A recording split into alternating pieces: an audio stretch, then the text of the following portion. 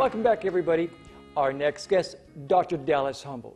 He's a best selling author, international speaker, and a man that has tremendous insights that I want to, for us to pick his brain and help us think about our journey. Dr. Dallas, it is good to have you. It's good to be here. Thank you very much. How do we get out of that place where we say, man, I just don't have any hope?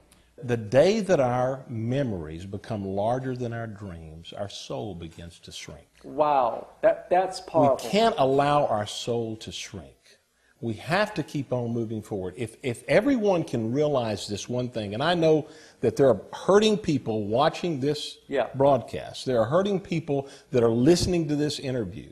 They're everywhere. I was there. Sure. I, I've gained and lost wealth three times in my life. I've had a house burned down before my very eyes, had three children beside me, had nowhere to go. I, I've been through all of that stuff in life that can throw us backwards, but we have a choice. And that is, do we allow that crisis to become a ruin, or do we take that crisis and make a learning experience from it? And it really is a choice. Yeah. But there are times when we're moving forward persistently that we still don't see the light. Yeah, we just That we're continuously in the darkness. Darkness, but I know this: as long as I'm moving forward, as long as I'm looking ahead, eventually I have got to arrive somewhere different than where I'm at. And if I'm moving forward in the right direction with the right attitude, speaking the right words, keeping hold of what I consider to be the most important thing, and that is the Word in my heart, Sure. and doing the things I need to do and speaking truth, I'm eventually going to get to a place of success.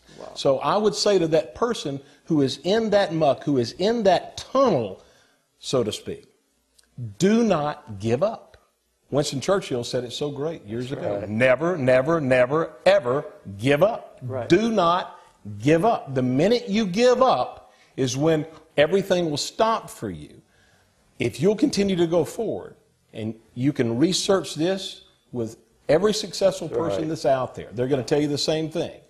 I could have given up. I could have said I couldn't make it. I could have said yes to what the doctor said. I could have said yes to what someone said when I lost everything financially. I could have said yes when the person put shame on me. I could have said yes to all of that. But no, I'm going to say no to it, and I'm going to keep on moving forward. wow. Stay tuned. Don't go